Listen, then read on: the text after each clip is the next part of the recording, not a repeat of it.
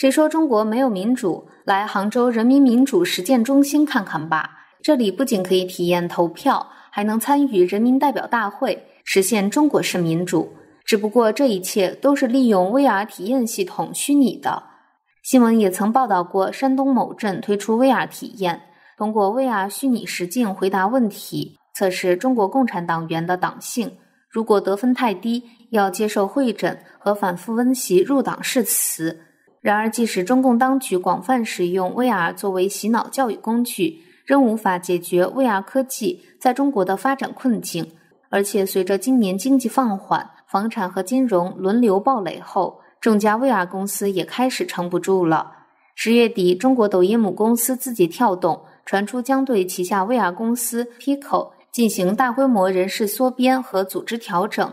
Pico 中文名称为北京小鸟看看科技有限公司。成立于二零一五年，主要研发 VR 科技、互动技术与 VR 应用。二零二一年九月，在科技界一片看好 VR 的未来发展下，Pico 风光并入字节跳动。根据当时出货量资料，Pico 是世界第三大 VR 头戴装置生产商。这件并购案在当年广受关注，大家都认为专升内容的抖音加上硬体专业户 Pico。字节跳动肯定在不久的未来会在全球 VR 领域中占有一席之地。没想到 VR 风潮说停就停。从科技发展现状来看，VR 在硬体技术仍然无法完美呈现真实感和沉浸感，且相关设备成本高昂，加上内容产品开发过慢。尽管有部分优秀的 VR 应用和游戏，综合以上因素，还是无法吸引更多用户参与。加上中共对内容产业的监管和隐私数据的全面控制，这让中国 VR 游戏开发商举步维艰。根据数据，中国的 VR 市场在一年内的出货量减少了百分之五十六，占有一半市场的领头羊 Pico，光是二零二三年上半年的出货量也已经下跌百分之五十。在十月下旬，Pico 裁员的消息传出时，字节跳动先是否认。然而，同时，前抖音元老支持 Pico 内容创作的任立峰传出离职消息，内部系统状态长期显示请假。当时就有不少评论认为，字节跳动可能打算放弃 Pico。内部消息表示，吴作敏将接替任立峰，成为 Pico 副总裁，担任内容文化部门的总负责人。另外，当初随任志峰从抖音调到 Pico 的一众高管，其中包括。原抖音综艺负责人宋炳华、Pico 视频直播负责人刘玉、Pico 内容产品负责人等均调回抖音或离职。十一月七日，Pico 召开员工大会，宣布将进行组织调整，证实先前的传言并非空穴来风。会上，Pico 总裁周鸿伟宣布，接下来会大规模裁员，对 Pico 的市场、游戏、视频直播等团队进行较大幅度的人员调整。周鸿伟在会上说：“最近重新仔细考虑已推出的业务和市场情况，得出的基本判断是，VR 行业处于非常早期的状态。以前对行业发展估计太乐观，但实际上没有预期的那么快。Pico 预计将行动作业系统团队并入字节跳动的产品研发和工程组织，只保留少部分硬体团队，预计涉及员工三百多名，整体占比约百分之二十三。” Pico 微博声明，调整组织架构是为了更好地聚焦在硬件与核心技术的长期探索和突破上，以更大的决心创造长期价值。这不是 Pico 第一次大规模裁员，早在今年年初就传出 Pico 已经裁掉大部分销售团队，一度引发外界热议。虽然字节跳动赶紧出来辟谣，不过相关谣言仍未平息。根据内部员工说，虽然裁员的传闻一直没断过，但十一月七日老板召开大会宣布的当下，大家还是感到非常错愕。因为目前 Pico 正准备推出新产品，是个预计在年底发布的新款鱼眼镜头，用于手机 VR 直播。VR 直播是 Pico 今年主打的产品亮点之一。因为目前 Pico 虽然拥有硬体，但能支援的游戏和应用都不够丰富。因此，Pico 试图砸钱让大家体验 VR 直播，看能否发掘新的突破口。大家都对这个产品抱有期待。同时，Pico 还计划将在明年发布 XR 延展实境产品，这将是 Pico 从 VR 到 XR 领域的一次飞跃。没想到，在这个时候，字节跳动创办人张一鸣决定不玩了，下达裁员命令。为何他突然对 Pico 失去耐心？首先，Pico 实在是太烧钱。二零二一年，字节跳动耗资九十亿天价击败对手腾讯，收购 Pico，抢到元宇宙入场券。随后，在研发、营销、运营等方面，字节跳动都是持续投入重金。据说，在北京市工商联的一场讲座会上。字节跳动某高层曾扬言，已经准备好为 VR 事业烧掉三百亿元。有 Pico 离职员工透露，字节跳动在 Pico 上累计投入的资金或许已经达到了两百亿，相当于每卖出一台 Pico 设备就亏损一千至三千元人民币左右。可是，持续疯狂砸钱过后，尽管 Pico 业务出现增长，但整个行业却迟迟没有出现大爆发。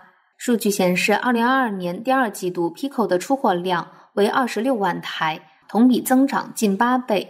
从市场占有率来看，Pico 在国内 VR 市场的占有率达到了百分之七十，全球市占率也从二零二一年第一季度的百分之零点九九提升至二零二二年第二季度的百分之十一点一六。从数字来看，Pico 的表现并不算太差。然而，整个 AR VR 事业却遭遇雪崩式下跌。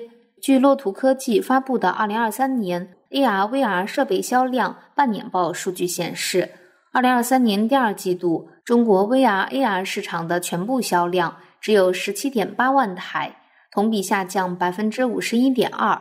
其中，VR 设备销量下降尤其严重，同比降幅达到了60.9%。此时，Pico 未能及时做出战略调整。VR 行业依赖于受欢迎的内容，但其应用和内容开发一直表现不佳。据报道，Pico 在应用商店中的应用数量约五百三十个，落后于海外竞争对手。随着 ChatGPT 成为显学，科技业转而投入海量资源到 AI 领域，对 AR、VR 的关注度大幅下降，整个产业都在放缓。即使 Pico 投入再多金钱和心理开发，也难以创造更多机会，吸引不了用户的开发商，就算有再多远景，都不存在为公司带来获利的功能。一位 Pico 技术人士说：“目前 VR 开发至少需要一百人以上的团队做硬体和软体，且在设计与制造、内容制作、优化算法等领域都要持续性投入。如果资金实力不足且产品力不强的话，持续投入几年后就会面临资金困难。”需要较长期的投入和足够的耐心。不仅 Pico，腾讯早在今年春节后就动手裁减 VR 团队，改专攻硬体设备。爱奇艺旗下的 VR 硬体公司梦想绽放也传出从三月开始欠薪，部门裁员比例更高达百分之五十。目前剩下员工不到百人，被资遣的员工则连赔偿金都拿不到，状况凄惨。微软也错估 VR 发展情势。今年二月，微软解散了四个月前刚成立的工业元宇宙团队及团队的一百名成员。继二零二二年年底裁员后，Facebook 母公司 Meta 今年也多次宣布裁员，并放慢招聘节奏，继续削减成本。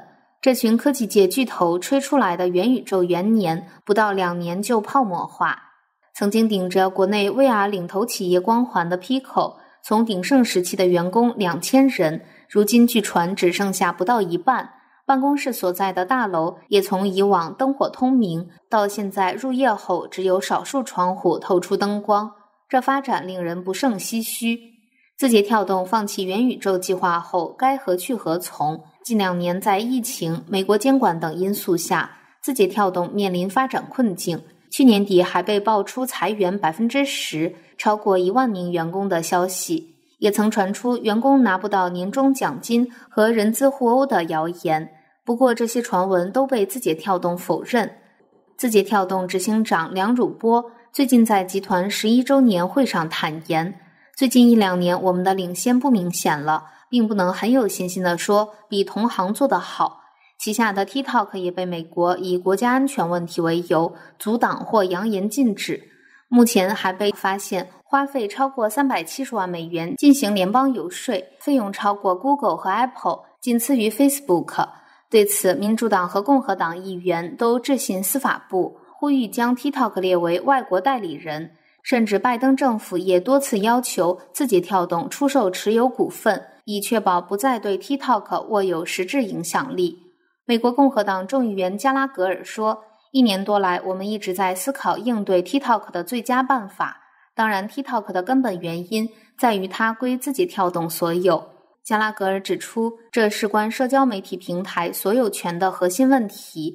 也就是美国大众是否希望中共有能力控制多数美国年轻人获取新闻的平台，进而影响美国的政治和社会。